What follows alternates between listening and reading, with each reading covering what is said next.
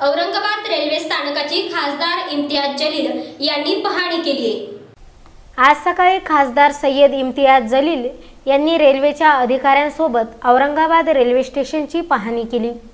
रेल्वेने दररोज हजारो नागरिक प्रवास करतात. यात्रेकरूंना प्रवासादरम्यान कोणकोणत्या अडीअडचणींना सामोरे जावे लागते त्यासंबंधी प्रवास करणाऱ्या यात्रेकरूंसोबत खासदार इम्तियाज जलील यांनी चर्चा केली. आणि रेल्वेच्या अधिकाऱ्यांना सूचना दिल्या की त्यांनी सर्व प्रलंबित कामे लवकरात लवकर पूर्ण करावे जेणेकरून यात्रेकरूंचा प्रवास सुखकर होईल.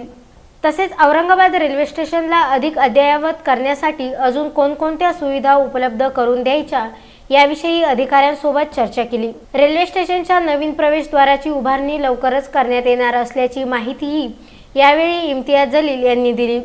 तात्काळ तिकीटसाठी जास्तीचे बुकिंग काउंटर ट्रेकची व्यवस्था प्रवाशांना थांबण्यासाठी नवीन जनरल आणि ए सी हॉल शुद्ध पाण्याची नवीन व्यवस्था ज्येष्ठ नागरिकांना आणि आजारी यात्रेकरूंसाठी व्हीलचेअरची आणि लिफ्टची व्यवस्था तसेच यात्रेकरूंसाठी सर्व प्रकारच्या सार्वजनिक सुविधांची व्यवस्था आणि स्वच्छता व्यवस्थेची पाहणी केली.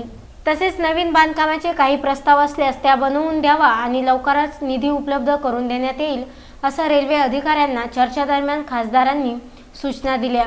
रेल्वेने प्रवासासाठी येणाऱ्या यात्रेकरूंना पार्किंगची सुविधा बस आणि ऑटो रिक्षाची व्यवस्था याविषयी लवकरच वाहतूक पोलीस एस टी महामंडळ महानगरपालिका अधिकारी आणि रेल्वे अधिकाऱ्यांसोबत चर्चा करण्यात येईल असं खासदार इम्तियाज जलील यांनी प्रतिपादन केलं. औरंगाबाद रेल्वे स्टेशन पाहणी दरम्यान खासदार सय्यद इम्तियाज जलील यांच्यासोबत रेल्वेचे station superintendent Jakhade assistant engineer Vijaykumar Khobre Salim Ahmed Khan नगरसेवक अबुल हसन हाशमी आणि रेल्वे विभागाचे इतर अधिकाऱ्यांची आणि कर्मचाऱ्यांची उपस्थिती होती.